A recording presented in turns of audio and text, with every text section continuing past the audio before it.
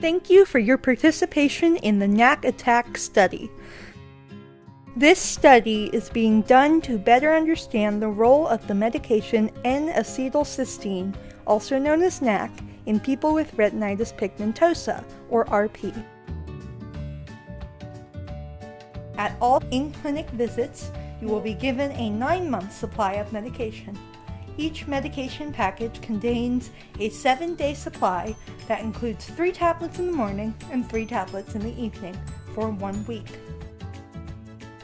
It is very important to store this medication out of reach of children and pets.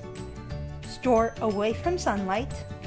Medication packages should not be exposed to temperatures below 10 degrees Celsius or 50 degrees Fahrenheit or above 30 degrees Celsius or 86 degrees Fahrenheit. Do not crush packaging or store under heavy weights that might damage the medication tablets inside. Do not take tablets out of the medication package until you are ready to use them. Tablets should never be taken out and stored in other containers for later use. If you are traveling, be sure to take enough medication packages with you to cover each day you will be gone and a couple of extra days just in case of any unforeseen problems. Use care not to crush medication packaging when packing and storing. For airplane travel, Bring medication packages in your carry on bags.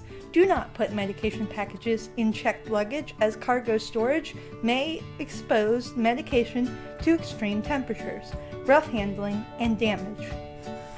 You will be supplied with a travel letter in case you are questioned by authorities about this medication. If any medication packages are damaged to the extent the tablets are crushed or exposed, do not use tablets in that package, but return them at your next visit. All medication packages, used and unused, must be returned at your next in-clinic visit. Do not throw away any of your medication packages, even if they are damaged.